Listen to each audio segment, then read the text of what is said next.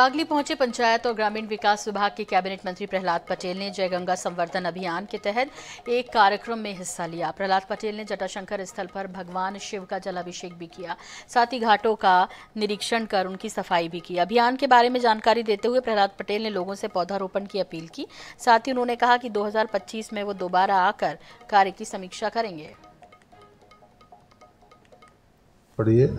हम वृक्षों को लगाएँगे तो वो ज़िंदा भी रहेंगे। वृक्ष है तो जल है। जल है तो जीवन है।